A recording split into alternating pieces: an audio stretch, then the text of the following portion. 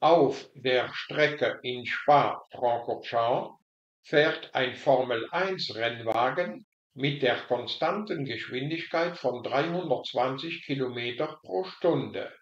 a drücke diese Geschwindigkeit in Meter pro Sekunde aus und b berechne die in zwei Minuten vom Wagen zurückgelegte Distanz. Wir nehmen die Erde als Bezugskörper. Die Angaben sind diese. Die Geschwindigkeit v beträgt 320 km pro Stunde. Die Zeit t beträgt 2 Minuten.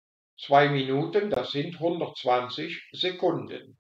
Was in klein a gefragt wird, ist diese Geschwindigkeit in Meter pro Sekunde. Diese Geschwindigkeit beträgt 320 Kilometer pro Stunde, das heißt 320 Kilometer pro eine Stunde. 320 Kilometer, das sind 320.000 Meter und eine Stunde enthält 3600 Sekunden. Jetzt brauchen wir nur noch diesen Bruch zu kürzen und so erhalten wir diesen Dezimalwert. Die Geschwindigkeit beträgt ungefähr 88,89 Meter pro Sekunde. In klein b wird eine Distanz gefragt, die wir in Meter ausdrücken. Und um die herauszufinden, nutzen wir diese Formel Geschwindigkeit gleich Distanz geteilt durch Zeit.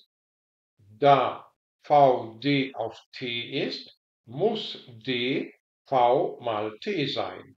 Als Geschwindigkeit v können wir diesen Dezimalwert nehmen, aber präziser ist es, wenn man diesen gekürzten Bruch nimmt.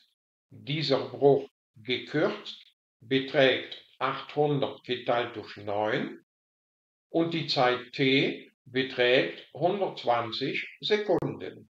So finden wir als zurückgelegte Distanz ungefähr 10.666,67 Meter. Das ist also die gefragte Distanz.